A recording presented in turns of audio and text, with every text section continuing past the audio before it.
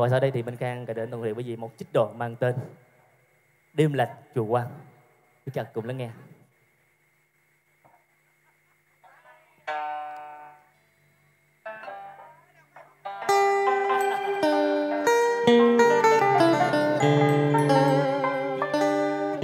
Sơn ca Hãy uống đi trung tâm, biệt Chung sau cùng Còn ngốt ngao tình nghĩa rồi hận thù.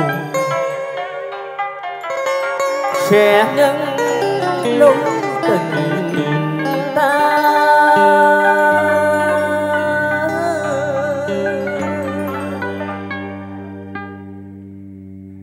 Nếu biết ngày mai nét ruột chia xa Thì ngày xưa kia đừng bao giờ gặp gỡ. Chén rượu tiếng đưa không ngọt ngào, tình nghĩa Thì chung rượu ngày nay không cay đắng nỗi thương sâu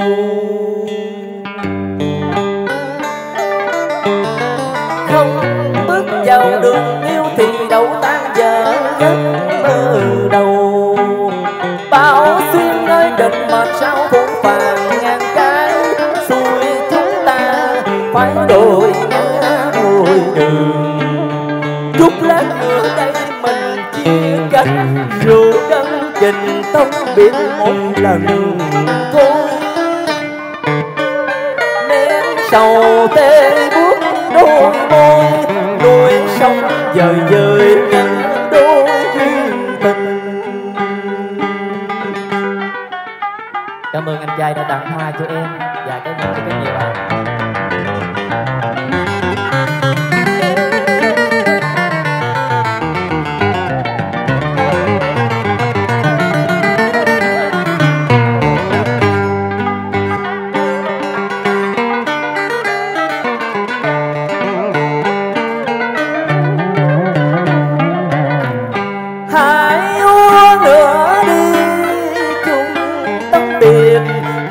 Đắng cay càng ngập lòng mình.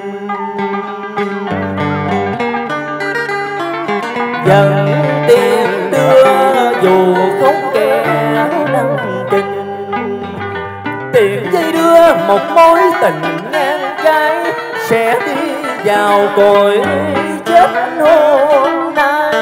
Sơn ta, tại sao chúng mình lại chém giết lẫn nhau Trong khi anh rằng em một lòng.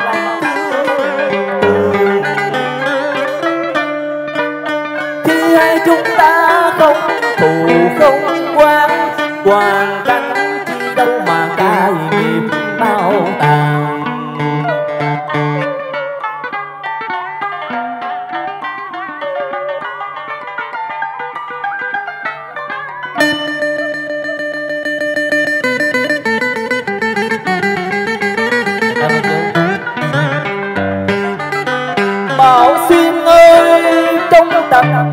sâu thẳm của hai tâm hồn hai kẻ yêu nhau.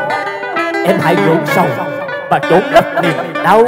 Khi phải cúi đầu tuân theo màn số.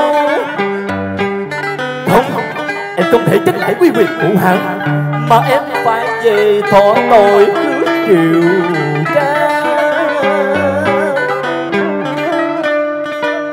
trở lại gian nan rụng xinh hãy mang theo hình ảnh của tương này.